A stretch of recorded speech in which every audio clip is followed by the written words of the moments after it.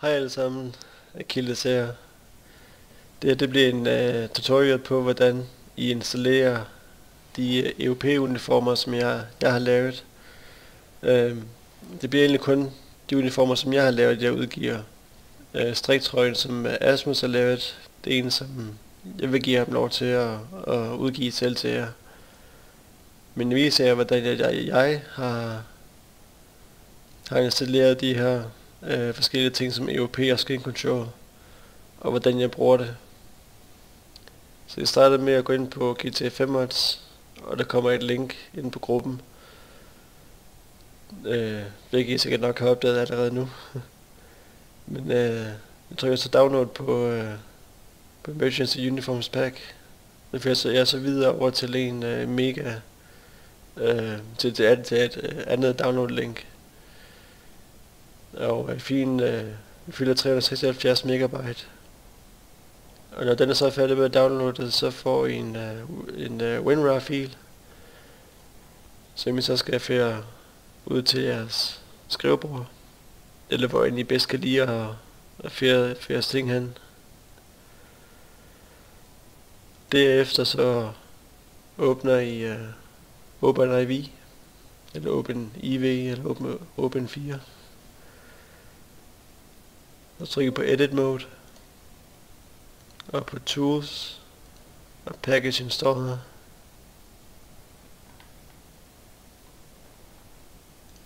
Og så finder I det sted, hvor I har lagt EOP'en, og så finder I EOP OIV, og trykker på Install. Når, det, når I så har gjort det, så går I ind på jeres uh, mods mappe, ind på update, x64, DLC packs, EOP, DLC, x64 og models, city images og det øverste EOP component pets. Det nede EOP component pets P, det er øh, kasketter og, og hatte og så videre. Jeg har ikke lært så meget af det endnu. Så det kommer nok i en, øh, uh, en update. Og så finder I alle de her mapper. Og uh, jeg gjorde det så nemt for jer som muligt. Uh, uden at lave en uh, OIV-fil. For det kan jeg ikke finde ud af endnu. Men jeg trykker bare på krydset her, det grønne kryds. Og så går jeg ind på danske europæuniformer. Og egentlig bare markere dem alle sammen.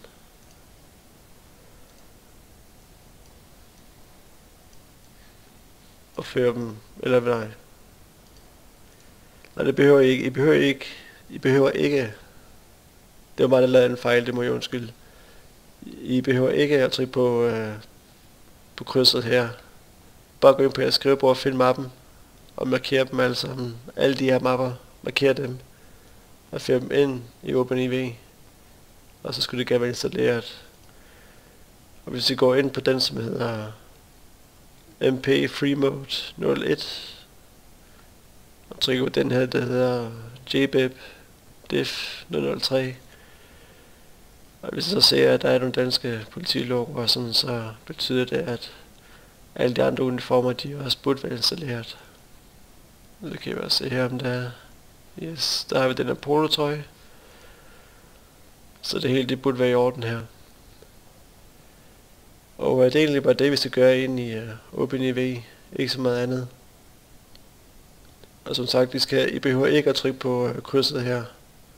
Det er meget nemmere, nemmere for jer, hvis I går ind på jeres skrivebord og åbner for danske europæiske Og så fører, markerer det hele og fører det ind.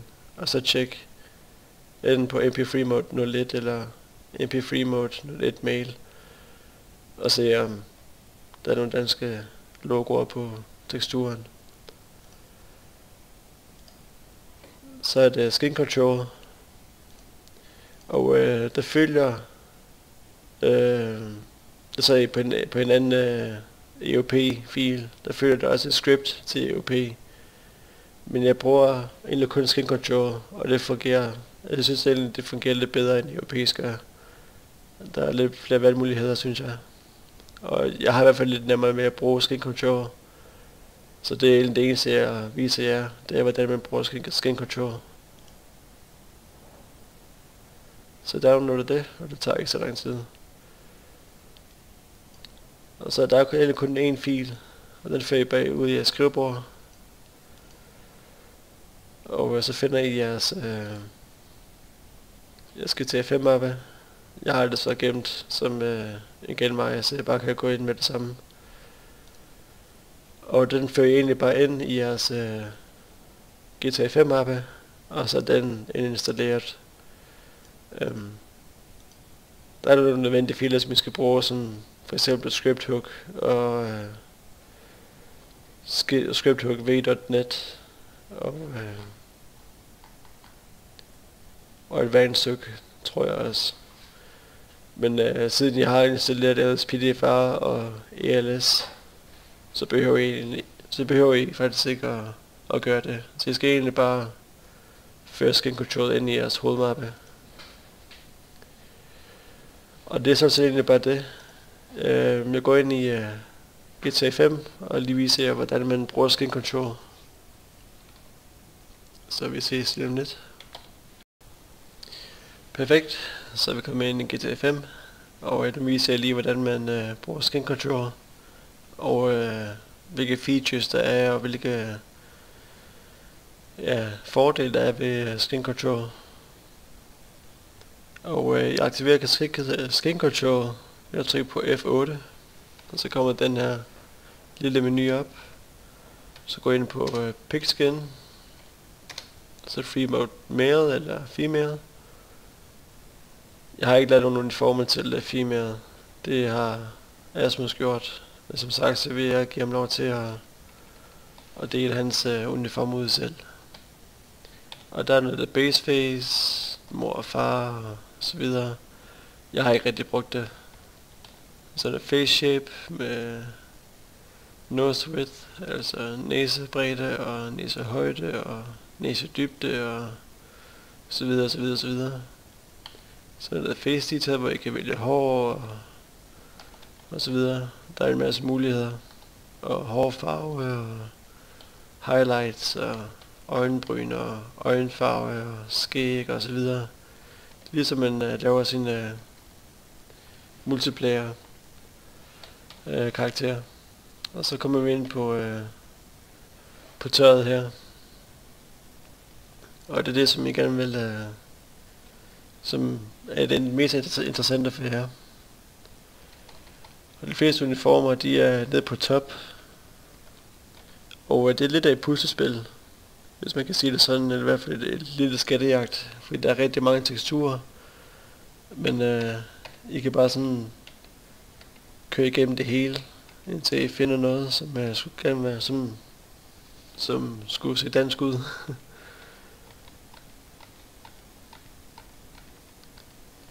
der var noget for eksempel der på model 25, og model 30,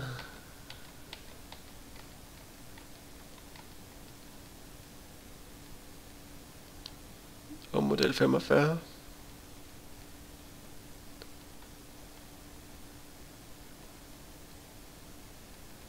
Og striktrøjen, den er selvfølgelig ikke med i den der pakke.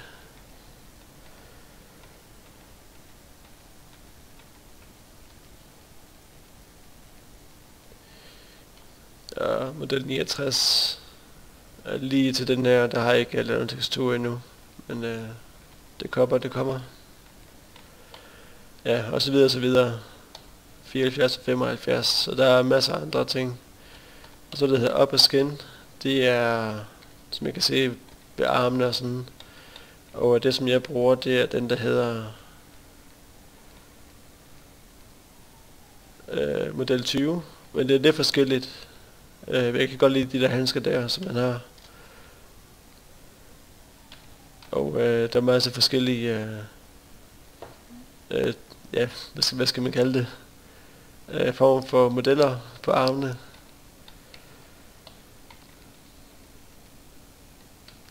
Men det varierer af, om det er kortærmet, I bruger, eller langærmet, fordi at hvis det er kortærmet, så skal jeg selvfølgelig bruge en hel arm.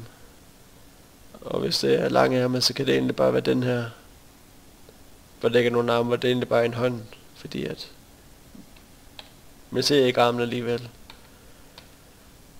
Og hvis I gerne vil have, så er det det undercoat. Og der kan I blandt andet også finde et politibælte.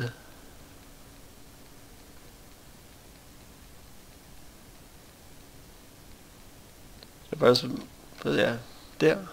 Men der er også øh, ned på accessories og armor, der er der også politibælte og radio. Og så er der sådan en sidehylster.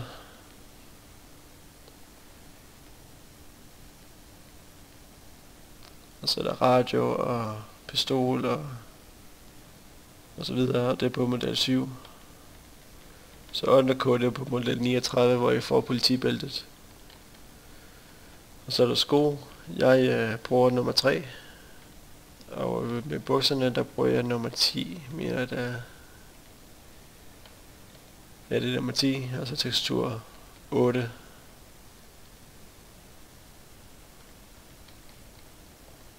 Og så er der armor. Der er der også, øh, der er der også en radio. Og det er på model 2 og 3. Og så er der en vest. Det er forskelligt, forskelligt hvordan vestene de passer på, øh, på de forskellige øh, uniformer. Så hvis det er en kortærmet skjort, så vil det nok være nummer 7 eller nummer 5, men øh, det passer ikke helt til. Så når I er færdige med at finde øh, den uniform, I gerne vil have, så kan I faktisk se, at der er utrolig mange muligheder for at gemme rigtig, rigtig mange uniformer. Og det er så de uniformer, jeg har gemt, som striktrøje, striktrøje vest, som i øh, øh, skudsikker vest, og skjorte, ærmer rullet op, og øh, med vest og kort med skjorte og en politijakke og,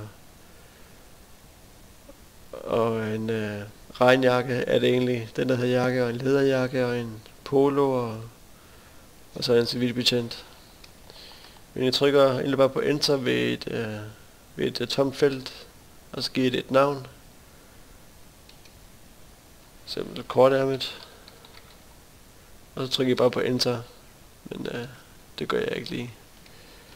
Og når I så gerne vil øh, finde jeres øh, uniformer, så kan I bare gå ind på load.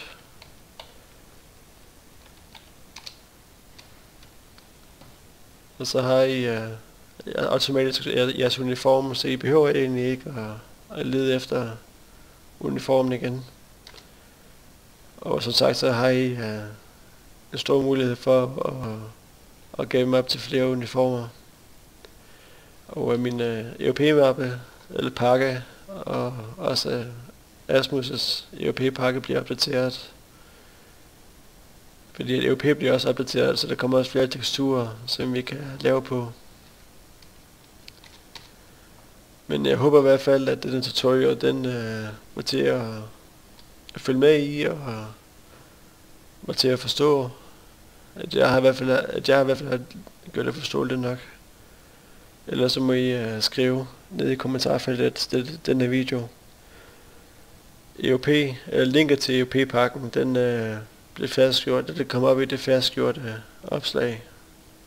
Så det ikke forsvinder ned i... Øh så det ikke forsvinder ned i, i, uh, i gruppen. Uh, pakken kommer senere op i GTA 5 mods, men lige til at starte med, så er den her i gruppen. Så I, uh, ikke skal vente på, at, at, at en admin, han uh, approver. Så I må have en god fornøjelse med de uniformer, og uh, beklager den lange ventetid. Men uh, ja, i må, I må nyde det. Og vi ses snart igen. Hej.